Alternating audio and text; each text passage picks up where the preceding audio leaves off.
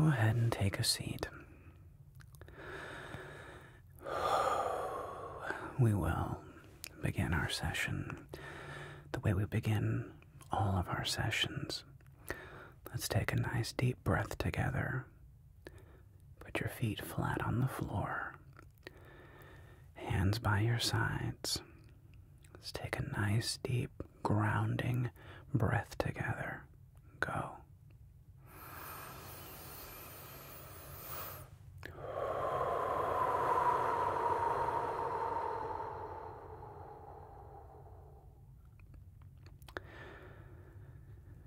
Take a moment to get present to the room. Hmm. Just notice. Notice the room around you. My office here. This is a safe space. It's a place of love and connection. It's a place of learning and vulnerability. Okay. And let's set our intention. Our intention for today's session is to be open, vulnerable, loving, both to yourself and to your to your friends and family. We want a lot of love to be present. And I know that you want to talk about your parents' divorce today. Yeah. Well,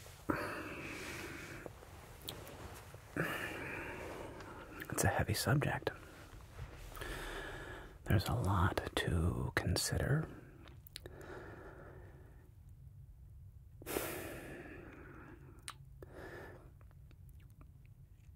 First of all, I want to offer you that parental and adult relationships are very complicated. They're, when we're a child, our life can seem very complicated, but it's because it's only based on whatever you've experienced up until then. You have no other, there's no other way for a child to gauge emotional complexity, something as complex as a marriage, of which it's going to be challenging. My wife and I, it's not that we fight all the time, but we are in constant communication, um, letting go, uh, listening to the other person, and and it's constant maintenance, um, which is easier said than done. Okay. And when our parents divorce us, not us, when our parents do, if our parents divorce, your parents are getting a divorce, it is foundationally shaking to the child, to any child, because our first relationship is with our parents. And in fact, your very first relationship, of course, is with your mother. And as a child, one of the key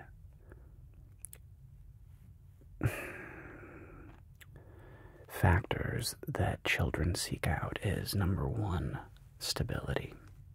Right? Stability is incredibly important for a child. Structure is incredibly important. And children have it, they believe, as we all, I, I believed this, you believed this, that mommy and daddy are never going to separate. And it is when that foundational belief is shattered, it it's brutal. It's just brutal. Um, I had my own situation happen when I was in the third grade. Um, there used to be uh, a thing called a Rolodex. Do you know what a Rolodex is? Probably not. It was this, um, it was this little thing, and it was like a, it had like a little plastic dome on it, like a little rounded dome, and then inside was like a, a little circle, and you could flip through the circle like this, right? And it had all your contacts, all the people that you knew. So that was your Rolodex.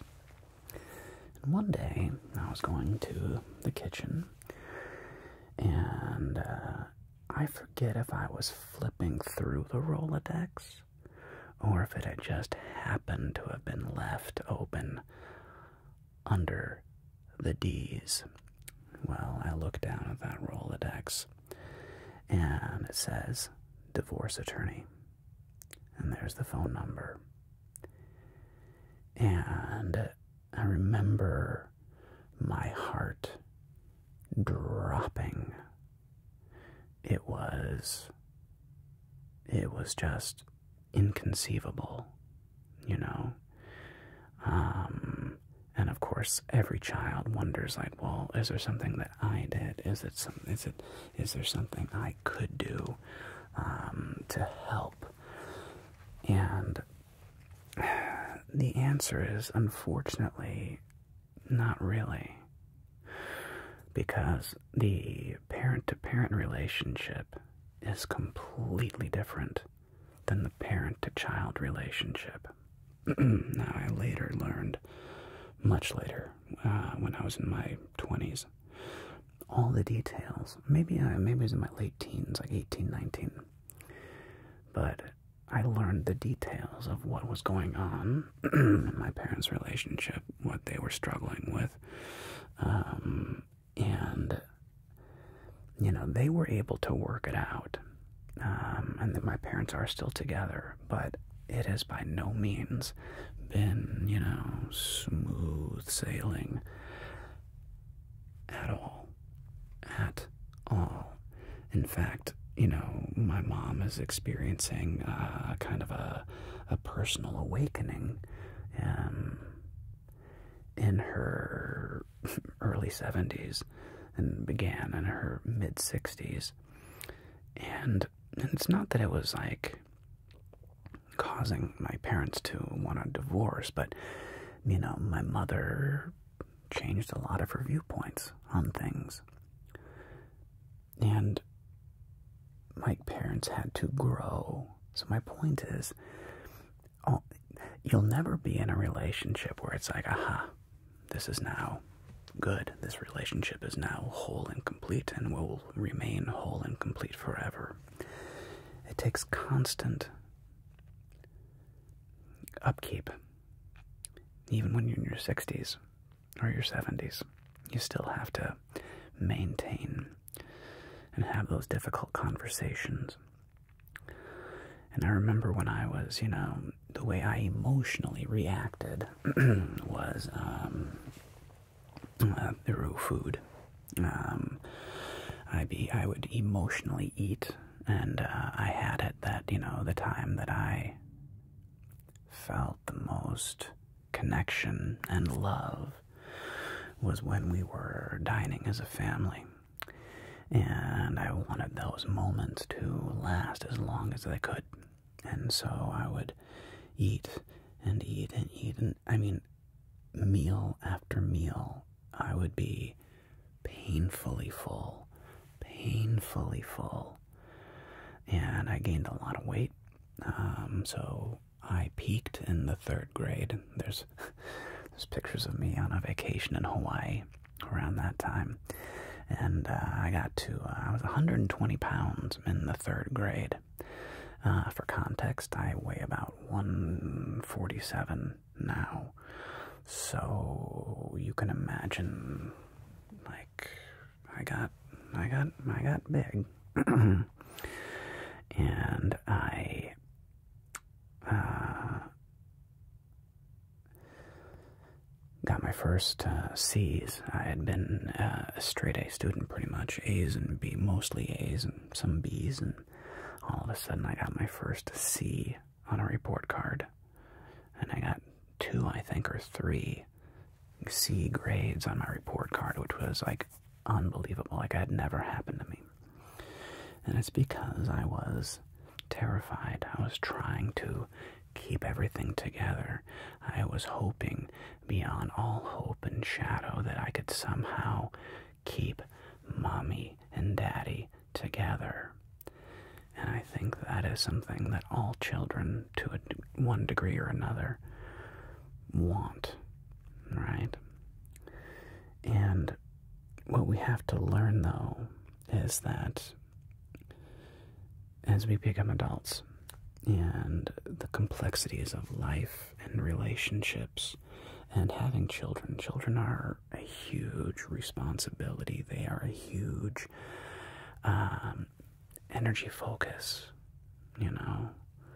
They, children are, are, you'll never love, I can only, I'm not a father yet, but every friend of mine, including my parents, I've never heard somebody not say this. When you hold your baby for the first time, the amount of love that you feel for that child is more than you've ever felt for anything in your life. I can only imagine that, okay? I have a deep love for many, many people my wife, dog, mom, dad, friends, okay? But the love for a child is a very special, unconditional devotion. And no parent, at least unless they're a narcissist, doesn't consider um,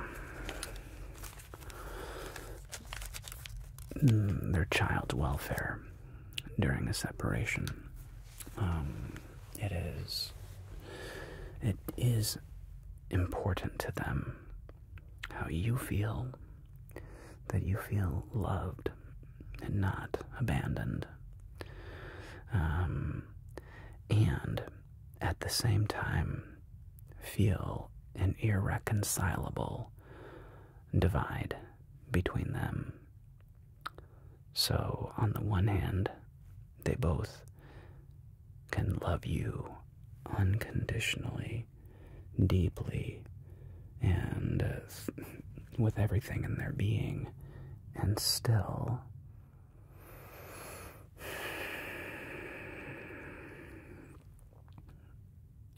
need to take care of their own lives and make themselves feel whole and complete.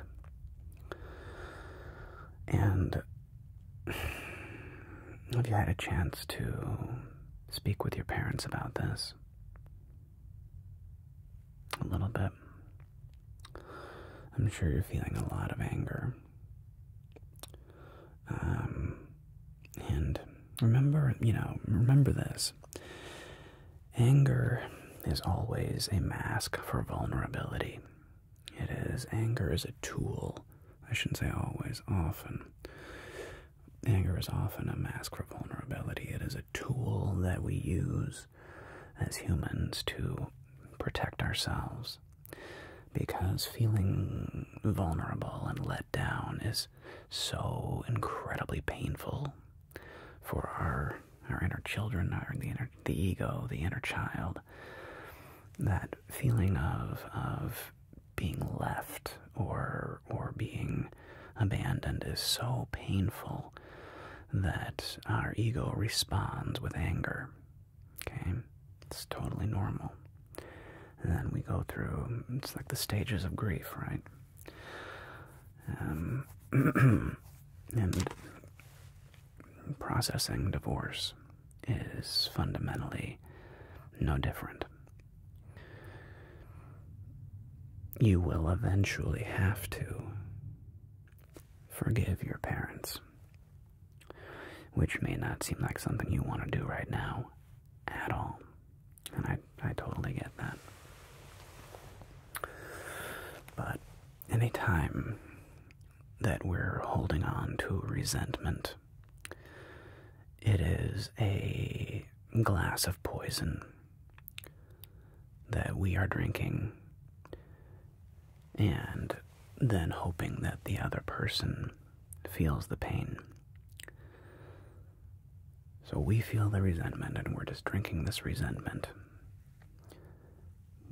feeling anger, frustration, rage, shame, um, and all these feelings of, you know, impotent power, like all those feelings are just resentment, resentment, resentment, and they're slowly killing us when we indulge in them. And the thing about forgiveness is to remember that there's a massive distinction that many people struggle with with forgiveness. Forgiveness does not mean you condone the actions of somebody. It doesn't mean you condone it. It means you release it from your burden and it will no longer affect you. You forgive the person so that you can love again, so that you can move on. Forgiveness is incredibly powerful. It's one of the most powerful human qualities that we have the ability to forgive people. I don't know if this exists anywhere else in the animal kingdom. I mean,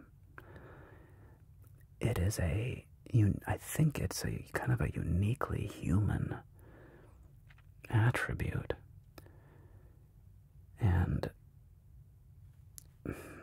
and I'm not saying you have to find forgiveness in your heart right now. Right now, I'm guessing you're feeling deeply sad, hurt, frustrated, abandoned. Um, it can feel all those things. And eventually, though, you will have to take on agency, your own responsibility, and forgive. Or not. And the emotional damage and wounding will just continue on and on, and, and uh, you'll lash out at your parents, and they may respond, and you can be angry. There's nothing wrong. And it's not that it's unjustified, it's incredibly justified. Your anger is almost righteous. And yet, it doesn't change it doesn't change anything. It doesn't change the dynamics of your parents' relationship. I am sure that you do not see the full picture of what they're dealing with. And how could you? You're their child. And there's no way you can know the full story. And in fact, I, you know, I would certainly hope one of the very ugly things that happen sometime in divorce is that the parent, one parent may try to put the child against the other parent, like there's a team, like there's team mom or there's team dad. Uh, and that is incredibly destructive and incredibly emotionally brutal. Um, and even if they do that, though, if they, you know, try to pick sides and make one person out to be the bad guy, I want you to know in your heart of hearts that you probably don't know all the details. And you don't have to. You don't have to. Because that's not your relationship. And it does feel powerless. And it does feel empty and it feels painful and yeah, all those things are absolutely true. And at some point, we want to get to a place where we can love our parents for everything they are and everything they're not. Yeah.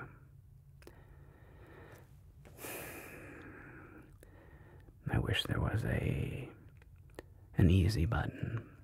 I wish there was a an easy path where suddenly everything was uh, just okay. And that doesn't exist. We have to process the emotions we're feeling in a healthy way. And the most important thing, I think, is to not deny whatever you're feeling. Whatever you're feeling, I encourage you to feel it. If it's anger, be angry. Give yourself full permission to just be pissed off. Because sometimes you just need that.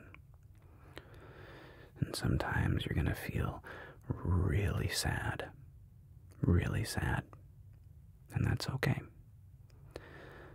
It's something that you are going to have to process. You have to go through the anger, the grief, and eventually the acceptance. It is, it is, I wish there was another way of processing emotions, but my experience in life does not tell me otherwise. I have yet to, uh, I've yet to find a shortcut to emotional health. It is a it's just it just it's just hard. It's just hard. And it's not fair. It's not fair at all. And that's a tough one. Because one thing that's really easy to do is to feel like you got victimized. It's very easy, and the, and the problem with it is there's a million ways you can justify it. All of us can probably, off the top of our heads, rattle off five ways we've been the victim. And the problem is, I've never seen any any use come out of going down that tunnel.